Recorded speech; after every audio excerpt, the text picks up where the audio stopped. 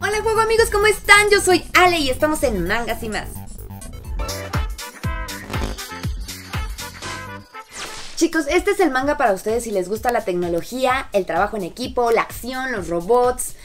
Pero yo al principio, la verdad, les seré sincera, dije, ¿qué es esto? No entiendo. Empecé a leerlo.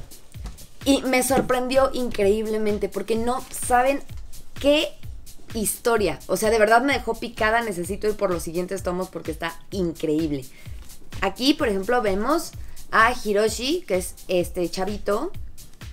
Eh, y él trabaja con otro investigador, son eh, universitarios que están haciendo un robot con inteligencia artificial que se llama 6. Bueno, le pusieron 6, aquí está el pequeño. Es el de la portada. Es súper tierno, súper lindo. O sea, te enamoras del personaje completamente. Me encanta Motoko, que es la hermanita de, del personaje que crea a 6.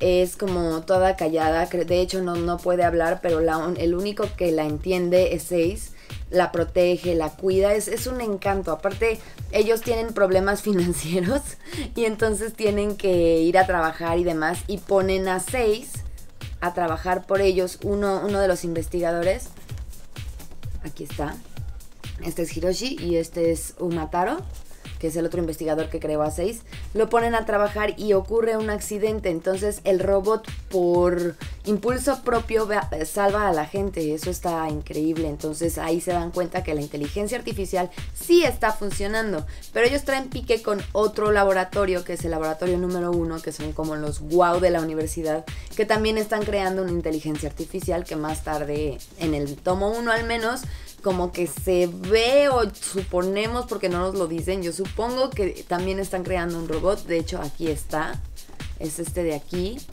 que va a atacar a Motoko y la defiende 6. Pero bueno, así se ponen las cosas, el robot es súper lindo, súper tierno, eh, cuida mucho a la niña y a la gente la salva sin necesidad de que le digan qué hacer. Y precisamente en afán de ganar dinero van eh, el equipo de 6 a una pelea de robots, tipo pelea de perros, pelea de gallos, así, pero de robots. Entonces empieza a ganar y a ganar y a ganar, pero al final se enfrenta con el que intentó eh, atacar a Motoko, lo cual está muy cañón. Esta es la chava que lleva al robot, eh, pues el más pesado de toda la competencia, y te dejan ahí, no te dicen nada, porque aparte se intercomunican, o sea, seis puede hablar, entonces se comunica con el otro robot y así se queda. No te dicen qué pasa. Es, una cosa que tengo que leer el segundo tomo. De verdad tiene cosas muy bonitas. Yo no esperaba tanto de este manga y me sorprendió. Y estoy muy contenta y ya quiero leer los demás. Está bien padre. Chicos, tienen que leer este manga. El robot número 6, o sea, este hermosísimo de aquí, es un encanto. Les van a fascinar sus aventuras. Eh, tiene solamente 9 volúmenes, entonces no está tan imposible. Yo ya quiero comprarme los siguientes 8 porque está increíble. Se los recomiendo ampliamente. Y pues esto fue todo por hoy, chicos. Están en mangas y más. Yo soy Ale.